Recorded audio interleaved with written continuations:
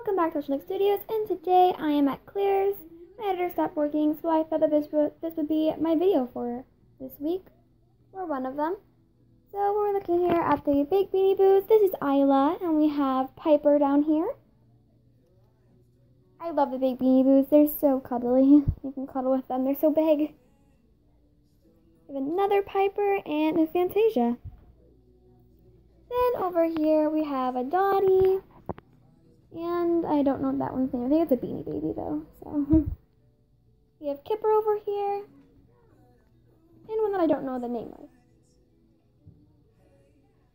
Also Owlette.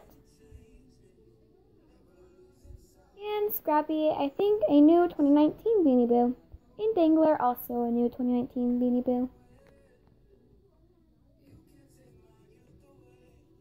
Have these My Little Pony like Beanie Boos. Me what you think about them down in the comments. I'm not really sure about them. They don't seem like really Beanie Boos to me. We also have Pixie and Heather. And we also did have some Beanie Boos on clearance over here for about $6 and a little in separate little containers.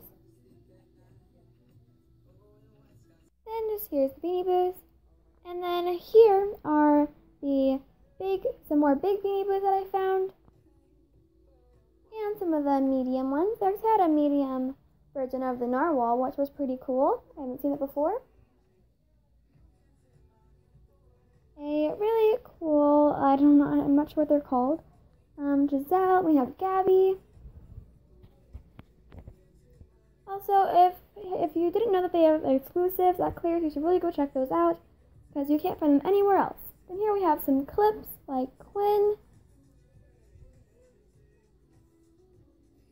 also some of the big ones on top. I also found some of these um, little clips in the clearance rack. And here are the earrings. I did get some earrings from Claire. I also had some mini Boos on clearance. Hey guys, I hope you guys enjoyed the video.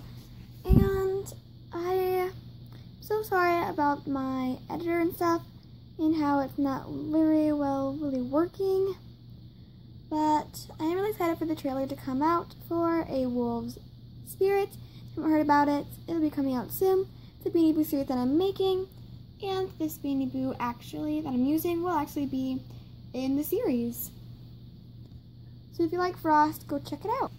Please make sure to like, comment, and subscribe down below. And don't forget to hit the bell. Thank you so much if you did. And